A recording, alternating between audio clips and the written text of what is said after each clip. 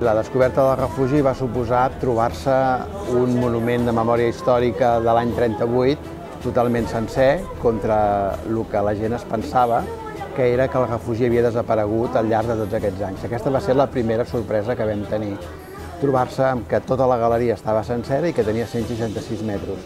És dels pocs refugis del Baix Llobregat que es conserven sencers. En el 2009 ja coneixíem que hi havia un refugi aquí, però no sabíem ben bé per on s'entrava. I el que vam fer és, amb una màquina, doncs, anar picant, no? fins que vam trobar la llossa, on ens va indicar, la vam aixecar i vam veure les escales, que tot era runa, i ens vam ficar doncs, com vam poder i vam trobar pràcticament el que heu vist, aquest refugi molt, molt, molt intacte. Eh? I això ens va fer molta il·lusió. No? I per tant ara el públic, els veïns i les veïnes de Sant Just estan gaudint i, i amb una rehabilitació que he de dir de, de, de, que està molt ben feta. No? Al principi de tot hi havia una entrada molt, molt dificultosa que venia de, l'època de la guerra i l'encàrrec consistia bàsicament en dues coses, que és consolidar el refugi que s'havia enfonsat en una part de, tocant al carrer i llavors hi havia una part de les escales que era la baixada fins a 10 metres de fundària que estava totalment apuntalada. I després eh, la part important era aconseguir fer una, la mobilització i llavors l'entrada es va fer aquest edicle que veieu al darrere meu i la idea era mantenir una mica la idea de l'argila que trobem a tot el recorregut del refugi i per això vam fer servir aquest eh, ferro corten, mantenint una mica eh, la tonalitat argilosa de tot el refugi. Eh, aquesta gent abans ho feia tot a mà, tot manualment, i al final nosaltres ens hem trobat el mateix problema, l'hem tingut de fer tot manualment. Les bòvedes de formigó s'han tingut de fer de manera eh, aislades, una a una, s'ha tingut que tenir en compte el pes, perquè després per aportar-la fins al lloc eren, eren molt pesades, eh, el formigó que pogut, no s'ha pogut bombejar, perquè al final 40 metres de manguera amb tanta atmosfera, amb tanta pressió, acabava rebentant les mangueres. Ha sigut realment una obra complexa i complicada i, però bueno, m'emporto un bon, un bon sabor perquè he après molt, com en totes les altres obres que he fet, però aquesta una mica més.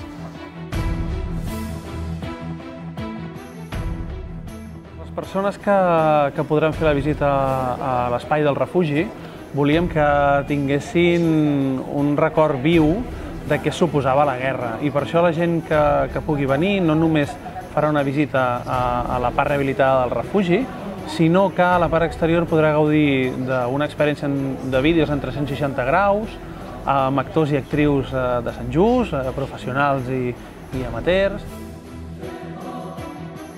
Nosaltres des de l'Arxiu Municipal mm, vam poder rescatar i vam poder testimoniar històries orals de veïns i veïnes que havien viscut a dintre del refugi. Sobretot això ho vam poder fer entre l'any 2008 i l'any 2012-2013. Aquí vam poder entrevistar una vintena de testimonis que havien estat dins del refugi. El relat que podeu veure amb les ulleres en 3D és un relat que no és imaginari, és un relat que està basat en fets reals. La noia dels cigrons existeix, el soldat que entra a última hora existeix, la mestra existeix, és una mestra d'aquí de les escoles, el senyor gran és un senyor que va entrar al refugi, que va haver de deixar els queviures a fora, és a dir, tots estan basats en fets reals.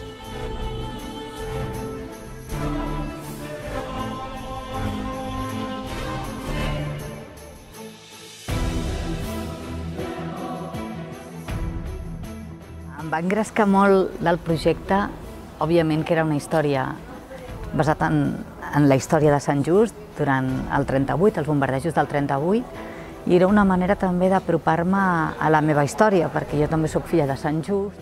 Em va engrescar moltíssim pensar que podia parlar d'algú que havia existit i que i saber més coses del meu poble i, com no, de la Guerra Civil, que va ser un, un fet històric que va afectar a tot Espanya, però, i evidentment també aquí a Sant Just.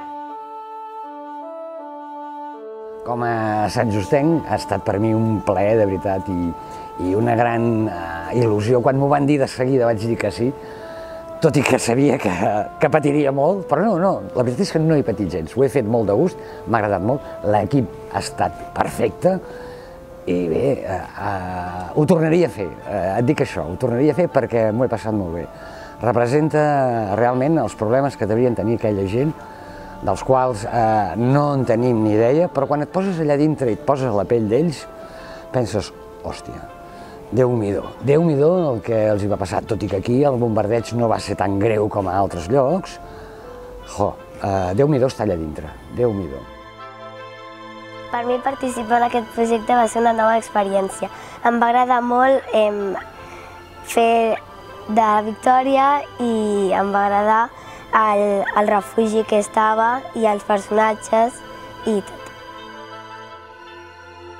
El meu personatge feia que al principi entrava amb la meva mare i em vaig deixar els cigrons, vaig sortir i després vaig entrar amb els cigrons i l'olla i em vaig trobar l'home gran. Oh, ningú ho diria. On és la teva mare? Està aquí a dintre. Jo he anat a buscar els cigrons, que me'ls havia descuidat. I, i jo m'he deixat el pa que portava fora. A Coco 360 estem especialitzats en realitat virtual i vídeos en 360 graus i aquest projecte, a part de la museïtzació, hem produït tot aquest material audiovisual a partir de testimonis reals que van estar dintre del refugi i ho hem ficcionat per, per fer-ho més amè al públic. Ara la gent podrà visitar el refugi i conèixer part de les històries dels veïns i veïnes que van entrar dintre del refugi a través d'aquesta nova tecnologia tan immersiva. A part de l'experiència 360, també hem dut a terme tota la part de branding, continguts webs, guions de, de la part audiovisual, la museïtzació del projecte. Ha estat un repte i una gran il·lusió poder treballar amb tanta gent i haver-nos de coordinar amb artistes de, de Sant Just.